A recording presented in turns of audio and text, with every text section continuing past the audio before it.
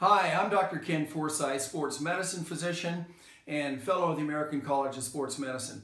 You know, for more than 25 years, actually starting with the FBI and the Los Angeles Fire Department in Santa Monica, I've been asking the question of patients and clients, what is it that you really want for your body?